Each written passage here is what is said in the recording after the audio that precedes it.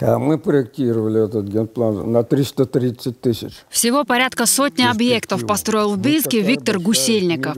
В 1978 году слабым местом было водоснабжение. Тогда удалось реализовать масштабную задачу и оснастить город современной системой. Проект Виктор Васильевич лично утверждал в Москве. Строили вот самые важные объекты. Это водозабор в составе проекта водопровода. Дюктер через Бею и водоводы до квартала Б, то есть водоснабжение всего города проложили коллектора от лесозавода до квартала э, ЗАБ, ночные сооружения. Построили очистные сооружения. По тем деньгам было 23 миллиона. В переводе на наши это где-то около трех миллиардов.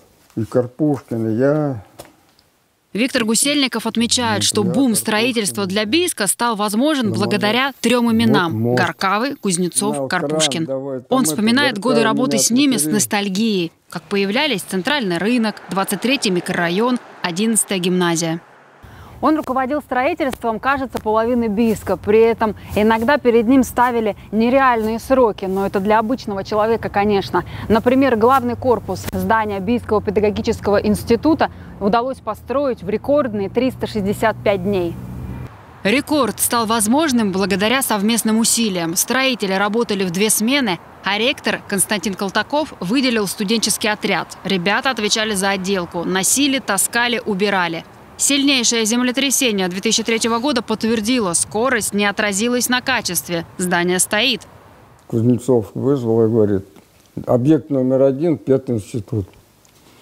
Я говорю, и проект посмотрел, все, все. Я говорю, о, ну это года надо на три. Он говорит, год. Я только чуть не упал. Вот тебе год и все. И мы в январе 89-го подписали о госкомиссии. 1989 год – начало новой жизни Бийского аэропорта.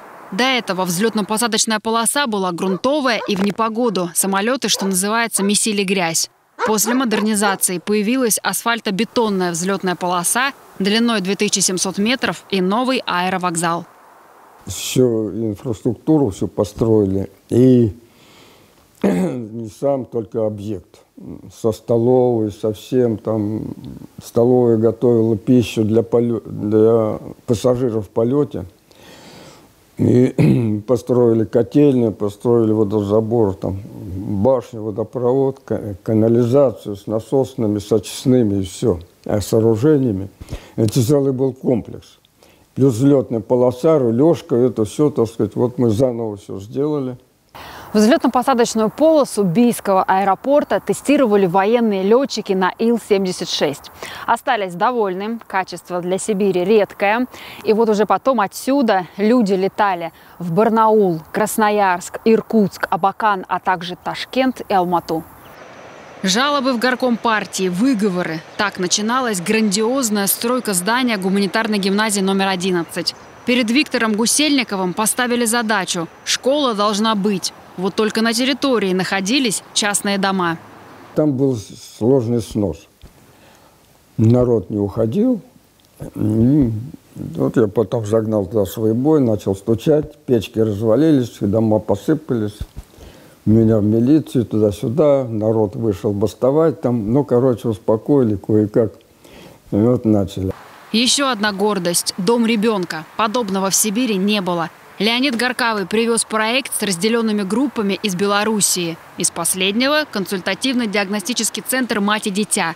Тогда землю удалось выкупить из частных рук. За этот грандиозный объект Виктора Гусельникова наградили званием «Заслуженный строитель России».